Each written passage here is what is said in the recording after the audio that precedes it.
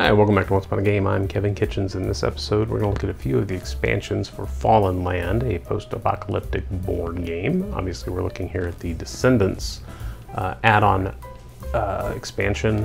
Uh, with it basically comes in a card box with some additional content for the game. Um, just real quick before we open this, there's just a couple other things you can order. These are uh, some custom skill dice. These are separate uh, purchase on the Fallen Dominion website. Uh, you'll see here that the 10 is represented by a mushroom cloud. And so we have the skill dice in the six different colors that you would use in your crew. And they work. No nukes. Jackson Browne would be thrilled. All right, so that's one thing you can buy. You can also get these cool 3D resource tokens. So you got ammo. Um, I mean, they're depicted as, as ammo, uh, oil, uh, gas, and medical supplies, but they actually just translate to 1, 5, and 10. Um, so all resources are your currency, but these are 3D instead of the, the tokens that came with the game. So that's a cool little upgrade you can get to if you want that. So looking here at Fallen Land, a post-apocalyptic board game Descendants, the Emergence saw, it's kind of a weird shaped box here for a widescreen video.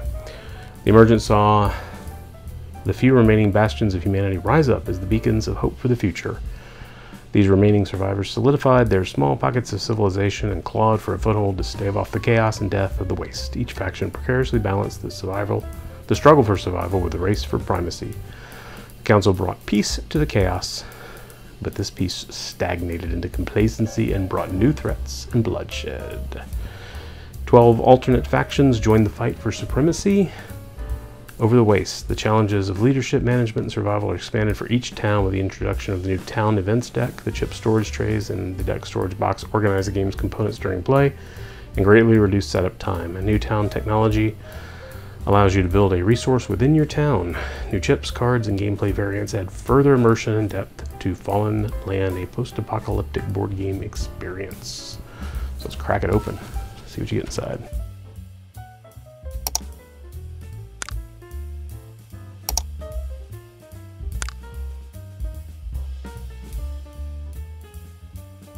All right, so this is the artwork. Very cool. Guy leaping off a building as people shooting at him, trying to grab the other side, or the hand that's reaching out for him over a desolate city. Very nice artwork, though. I really do like it. All right, so let's dig into this here. We can get it open. All right. How are we gonna do this here? Let's do that and that. There we go. All right, so we've got, oh, we got some dividers for the cards, which is nice because that will, like they said, help set up. So the cards can go in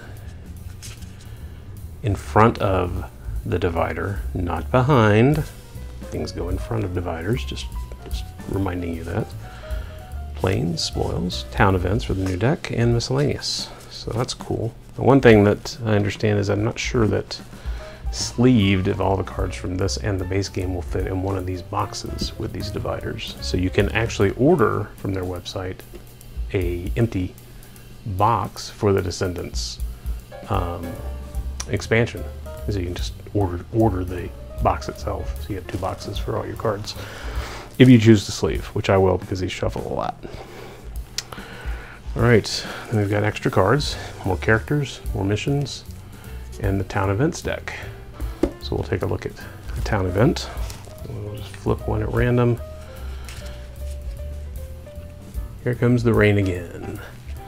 Dark storm clouds loom on the horizon. Will this be a good thing? Roll a 1d10 on the town events chart below. You can gain health, gain health, gain one health. No effect. Lose health, lose health, lose health. And one random character from the town roster. Acid rain decimates your town. Easy. Boy, it's pretty, pretty nasty stuff here. Dangerous Raiders. A dangerous group of well-armed raiders is moving through the countryside that is under the protection of your faction. Bolster your town defenses to prevent becoming an easy target. For each town defense chip you currently have equipped, gain one town health in turn phase. If you don't have any town equip, town defense chips equipped. Lose 2 prestige, roll a 1d10 to find out what happens. No effect. Discard the most valuable item in your auction house. Lose 2 town health, lose 4 town health. Wow, it's pretty deadly. This is such a, this is such a cool game. This really is really such a cool game. All right, sorry, rambling now.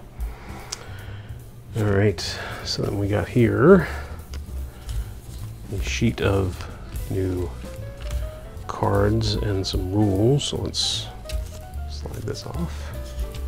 All right, so we got a rule card. Got Descendants rule card one, rule card two. So here's your rules. comes in at two cards, full color, on coded cardstock. Welcome, thank you for purchasing Fallen Lands Descendants. This is the third expansion for Fallen Land. The first two, A Journey into Darkness and Outriders Trading Post, are now included in the Fallen Land second edition big box set. So this actually came out between, originally I think between the two, between the first edition and the second edition, if I'm not mistaken. And the second edition came out and included all the first two expansions, and then this one was still available. So, uh, what's in the box? The deck box, the plastic chip trays and lids, we're going to see deck separators, Descendants playmats, character cards, spoils cards, action cards, encounter cards, mission cards, Biodome Town Technology chips, NPC Mercenary chips, Link chips, compass chips, compass chips, question mark chips. Town event cards, there are 65. We just took a look at those. The town event events deck replaces the town events chart from the core rules by expanding upon its principal purpose. So that's cool. And it explains how the cards work and the rules for using those. And then we also have here 12 new factions. We have the Angels of Mercy, started in Iowa City, Iowa. We have Beasts of the Atom, from Great Falls, Montana. Wild cards out of Battle Mountain, Nevada, or Nevada. Red River Parish out of Shreveport. The starting locations may be the same here. New Separatist, Albany, Georgia. Oh, I see. Okay. All right. They're new ones, but they're still, they're kind of like, they use the same uh, miniature, you know, uh, team team movement marker, uh, and start in the same location. So these replace. I mean, you, they're alternates, so you can play with any. Like you couldn't play with the New Separatists and the New Federalists. So it says they're affected by New Federalist cards. So if you look at each one here, that's why it's seeming familiar. I was like, wait a minute, I thought there was a Shreveport one already, and it is. The Swamp Runners in the in the base game can be swapped out with the Red River Parish and it says what they are. So anyway, so we'll go through the rest of them here. So we got the Freedom Frontiersmen out of Amarillo, the Road Kings out of Sturgis, which, okay, Prophets of Ezekiel, affected by the Brotherhood out of St. George, Utah, Neptune's Wrath out of Grand Haven, Michigan. Would, would Neptune limit himself to a Great Lake? That's interesting. Sigma Complex out of Emporium, Pennsylvania. Los Centinelas out of Jimenez, Coahuila, Coahuila, Coahuila. And the collective out of Thunder Bay, Ontario. Those wacky Canadians. All right, so there are those new factions. And then we've got two of the chip trays here. We've got one that's just, these are like, these are similar to ones that came in the base game. So you got one that, that stores the uh, 13 different round markers uh, around the the, the uh, town resource markers, and then the uh, six section tray. Oh, there's two of those. There they are. They come apart. They were all together. And the way the book has these divided actually works really well. The the rule book and the base game has you basically putting some of each type of chip in these so that you can spread them across the table if you're playing with multiple players. So there's two of those, two lids, and then one for the town resource or town improvement chips. And then we've got two punch boards here with different, uh, so here's our biodome uh, resource markers, right? And then our improvement, town improvement markers. There's ones for biodome, and got some question marks here, and the chains, and the exclamation points. So if you are to pick up a copy of the Fallen Land Descendants expansion, you are going to get those two sheets of pre-rounded, because they're round counters, four, uh, three trays to help organize your game, 12 sheets of alternate factions to play in the game that just provide a little bit of variability. And then there are additional cards to expand the decks in the base game.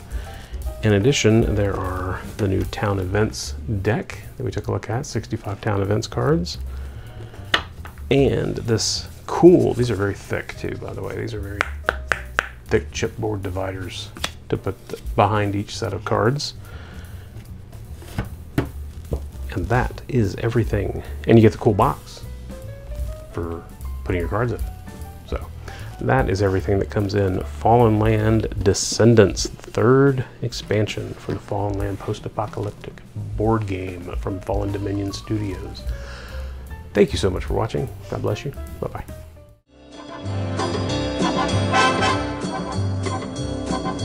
Oh!